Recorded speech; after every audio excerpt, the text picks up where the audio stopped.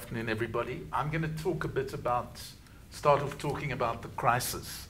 And I'm going to say that the electricity crisis in South Africa is a managerial crisis. I don't think demand for electricity has ever really exceeded installed capacity. The amount theoretically available if all sources are functioning properly.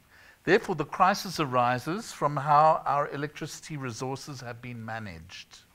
The issues are around encouraging lower demand, not higher, and this is in conflict with a utility like Eskom and with municipalities that want to sell more electricity, not less. Managerial failures have also been manifested around a decent timetable for maintenance. They have not been able to stop demand eating into the safety margin. Our solution is to bring new electricity sources on grid as fast as possible. And this points to the fact that we should therefore be more reli- reliant on renewables because unquestioningly renewables are the fastest way to install new capacity. We are seeing huge cost and time overruns on the contract to build Medupi, and the same pattern will apply to the nuclear installations. The industry claims that it takes about 10 years to build a nuclear power station, but with overruns, it could be considerably longer. So, why do South Africans embrace more coal, more nuclear, and wanting to exploit new fossil fuel resources like shale gas? Part of the answer to this, and people have pointed to it, is what the late Jamaican sociologist Stuart Hall termed a moral panic. This is a kind of panic engendered and manufactured by the media or a particular interest group, usually wanting to push forward an unscientific or an irrational position. Our moral panic is around how we can combat what is euphemistically called load shedding, and we're all buying into the language. We should be calling it what it is, which is power outages. And to return us to a 24 hour electricity provision. Eskom government and media do not interrogate the means for delivering more energy. Whichever source they will deliver, they argue, bring it on. The people are so panicked that they mostly go along with this. As I've said, the most rapid form of de developing new generation is the multiplication of renewable energy solutions. So, why is the public not pushing for this?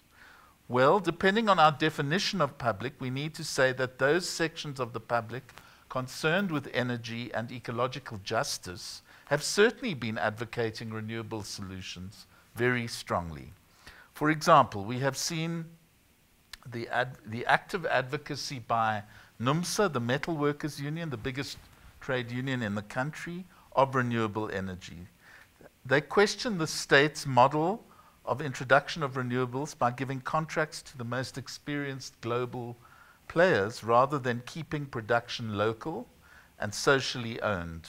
But sadly, most of civil society are not yet on the same page as NUMSA. Recently, the ANC and allied forces in Soweto staged a march to the Eskom office in Diepkloof, demanding an end to electricity outages and calling for free electricity for Soweto residents. In this instance, the means of delivery, the sources of electricity were not questioned.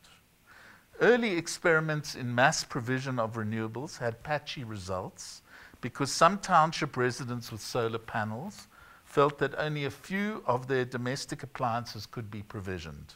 They queried why they were being subjected to a technology that did not provision all of their needs, unlike what was being delivered to more affluent consumers.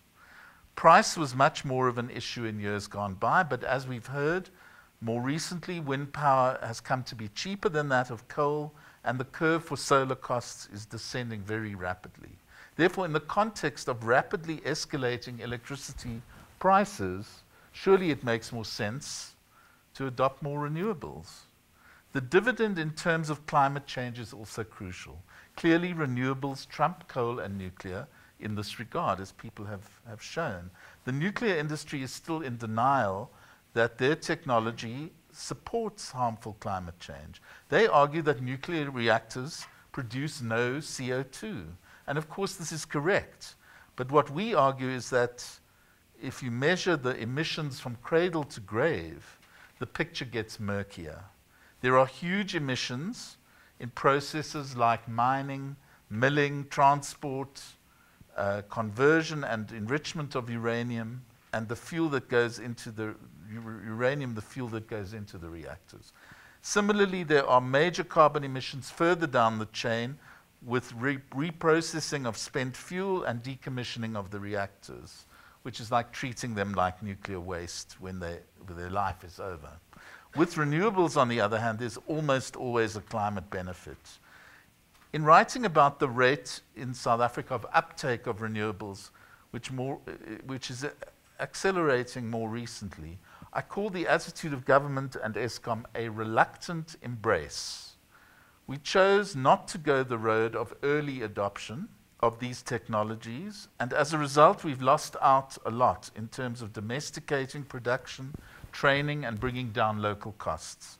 Why this reluctance? Because renewables raise the possibilities of decentralized energy, of spreading power in both senses out of centralized control, in using the technology to empower many more people on the ground, and of, of offsetting high bills cons by consumers returning unused power to the grid.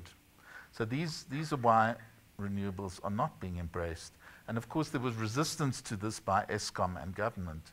Now that Eskom has more or less imploded, perhaps we as a society can begin to think of a more creative and more broadly empowering solutions in this area. The crisis should also allow us, as Tasneem was saying, to, to the space to make new arguments and new plans.